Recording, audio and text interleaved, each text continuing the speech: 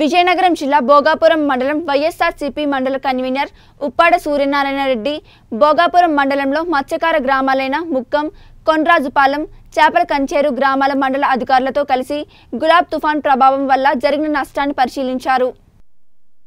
మత్స్యకార గ్రామాలకు వెంటనే మంచినీటి సదుపాయం కూడా ట్యాంకర్ల ద్వారా కల్పించారు గులాబ్ తుఫాన్ చాలా ప్రమాదకరంగా ఉంది కావున అప్రమత్తంగా ఉండాలి అని మత్స్యకారులను వేటకు వెళ్ళొద్దని అన్నారు ఆయనతో డీఈఈ బంగారు నాయుడు ఎంపీడీఓ బంగారయ్య తహసీల్దార్ రమణమ్మలు పాల్గొన్నారు